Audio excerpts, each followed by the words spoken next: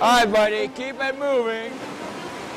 Tonight, You can see the Rio flag next to London, so you walk in and see that every day, and that's kind of something you, you you're, know you're striving to make is that real Olympic team. we take you behind the scenes of Olympic training. At the Olympic Games, there's a lot of people, but they're not all cheering for the U.S. team. One hundredth of a second separates the top eight. In Omaha, it feels like it's all for you. More than 1,700 American swimmers are preparing for the biggest race of their lives the U.S. Olympic Swim Trials in Omaha. I'm gonna jump in, okay? For the third straight time, when it comes to the water, the road to the Olympics first goes through Omaha.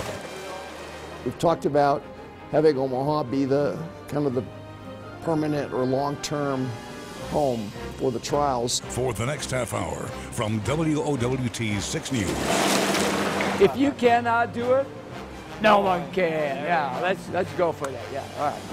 Thanks, buddy. Game over. Brian Mastre reports Train, Trials, Glory. 60 days to Omaha. Good evening. I'm Brian Mastre. We are coming to you tonight from Colorado Springs, Colorado. We are 100 days away from the Summer Olympics in Rio de Janeiro, Brazil. 100 days. That means we are 60 days away from Omaha and the U.S. Olympic swim trials. Before American swimmers can go to South America, though, they must first get their ticket punched in Omaha.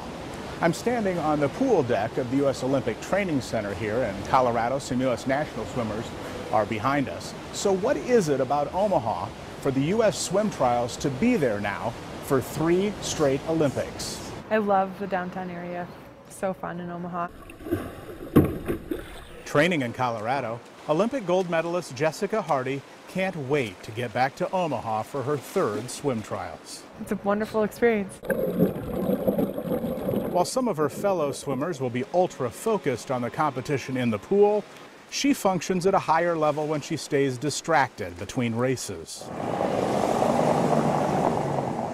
I don't remember the name of the street, but the cobblestone downtown area is so fun to walk around and Old Market. Old Market, shop in the boutiques and awesome restaurants. Um, I'm always looking for recommendations if you have any suggestions. Lane six, Jessica Hardy is looking good.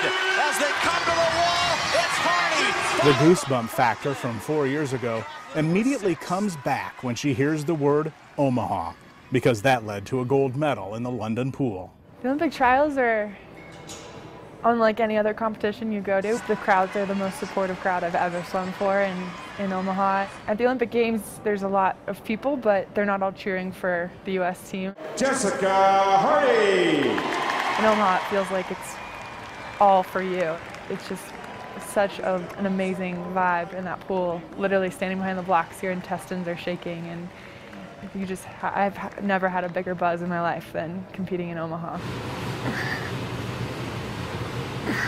At 29 years old, I tell these stories of my trips, and they're like, we weren't born yet, you know? Jessica Hardy is one of the elder statesmen of the U.S. swim team. I have had people on the national team tell me that I came and like spoke to them when they were age groupers, so I guess I'm getting kind of old now. like, you know, brought my Olympic medals to Simone Manuel like as when she was a young girl, and now she's on the national team and will probably make the Olympic team too. So it's it's cool to kind of come full circle. All right, buddy, keep it moving. When it comes to experience, Jon Urbanchek has her beat. Two good Hondas. Work it, work it. Coach has been to nine Olympics. Over the years, his swimmers are responsible for 11 Olympic gold medals. Okay, Conor. On this morning at the Olympic training pool in Colorado Springs, he's working with Conor Dwyer. Dwyer made his first Olympic team four years ago. And Dwyer's down there in lane five. What a battle for the second spot. And it's going to be Dwyer. The whole atmosphere of Omaha having Olympic trials is uh, something special. It's I love that we're having it in Omaha because I swam well there. I made my first Olympic team there. The 27 year old went on to win gold. Omaha is awesome. I, I love that city just based on the fact it's been good to me. So I'm looking forward to going back. Dwyer, who grew up in Chicago, remembers the ease of getting around the CenturyLink Center four years ago.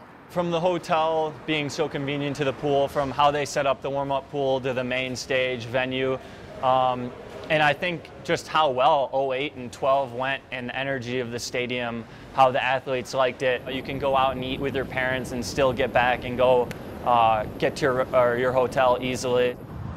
Here in Colorado Springs, I've been here for 23 days. The 200 should be negative split by two seconds. Go out smooth and bring it home. coaches often tell the Olympic hopefuls they're here for three reasons to eat, sleep, and swim. That's it. Nutrition and eating plays a huge role in recovery for us, and I know uh, there's been crazy articles about this, the calories that swimmers consume, and I think that's pretty spot on. We do tend to eat a lot, but uh, try and keep it pretty healthy. Think of it this way swimmers need fuel to re energize. Conor Dwyer logs nearly 10 miles every day in the pool. Two hours in the morning, two hours in the evening. We can destroy a buffet. I guess people who don't work out two or three times a day are wondering um, why we eat as much as we do. We can't eat as much junk as guys do. Like they can uh, seemingly eat like cinnamon rolls and French toast and stuff and still have six packs, but I'm always in calorie deficiency as an athlete, so I am constantly hungry. like 24 hours a day, I'm hungry. Jessica Hardy swims close to four miles a day. I don't count my calories, I just eat as much as I can. Healthy food. But even elite athletes have vices. M&M cookies are my biggest guilty pleasure. Cookies? M&M cookies are the best. Coming up, I hope we never lose that intimacy. the head of U.S. Swimming offers perspective on this year's swim trials and the possibility of Omaha hosting it again.